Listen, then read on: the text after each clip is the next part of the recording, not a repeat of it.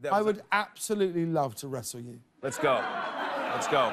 Chris Pratt can probably take on a lot of people, but his Guardians of the Galaxy co star Dave Bautista is not one of them. While appearing on CBS's The Late Late Show Thursday night to promote his new Amazon sci fi action movie, The Tomorrow War, the actor shared a hilarious story of how he regrettably challenged Bautista to a wrestling match. It all started when Pratt spoke about his high school wrestling experience with his brother. We were both wrestlers, and so we wrestled for like no less than six or seven hours a day in the living room, just destroying all the furniture. Host James Corden then playfully suggested that he'd absolutely love to wrestle the actor, to which he agreed. But someone he wouldn't want to wrestle is his co star and former WWE champion Dave Bautista. Pratt shared to the Late Late Show host that he nearly did, and it was all thanks to a sleeping pill.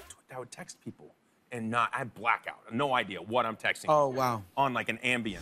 Pratt said he took an Ambien one night, and the next day Bautista approached him about a text he had sent. You don't remember?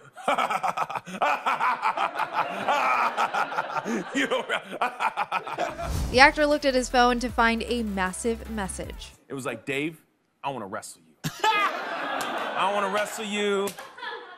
No one needs to know, but I just want to know. I think I could take you. I think I could wrestle you, bro. While laughing, Pratt admitted he was mortified and said that Bautista would kill him. Corden seemed to agree. I fancy your chances against a lot of people. You should never, ever wrestle him. No. To watch the hilarious clip in full, head to thr.com. And for all the latest late night news and updates, keep watching the Hollywood Reporter News.